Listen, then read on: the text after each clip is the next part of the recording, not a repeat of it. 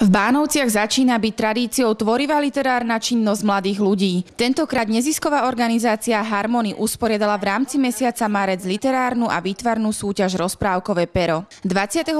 marca sa konalo vyhodnotenie súťaže, do ktorej sa zapojili všetky deti z Bánoviec a okolitých základných škôl. Hlavným predstaviteľom a predsedom poroty bol nám všetkým známy Silvester Laurík, ktorý nám prezradil, čo to o tvorivosti detí.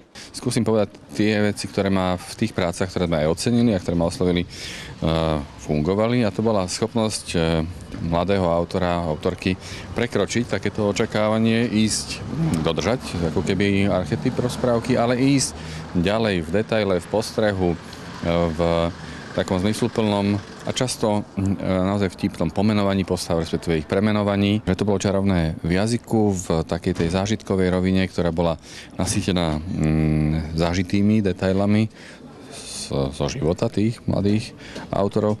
No a potom, už som teraz spomenul, humor. Ak tam bol prítomný humor, bolo to na nezaplatenie. Ďalší členovia poroty boli Miriam Kiripolská, Nadežda Benešová a Roman Jedinák.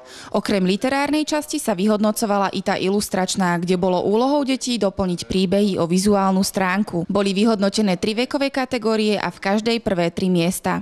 My sme pre vás vyspovedali umiestnených šikovných literárnych tvorcov v prvej a druhej vekovej kategórii. To bola tvoja prvá rozprávka, ktorú si napísala? Mm, už som dostala jedno ocenenie, ale nebola to moja prvá. Prečo píšeš rada rozprávky, alebo prečo si sa rozhodla písať práve rozprávku?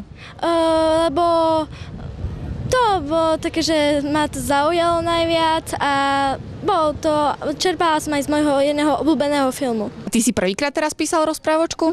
No, keď som bol tu, tak áno, prvýkrát. A už si získala aj ocenenie, tak plánuješ v tom aj pokračovať? Mhm. Takže budeš písať aj ďalšie.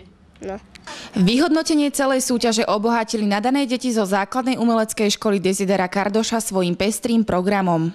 Prišli k nemu dva mladenci, poty dievča s nami. Ja bych s vami išla,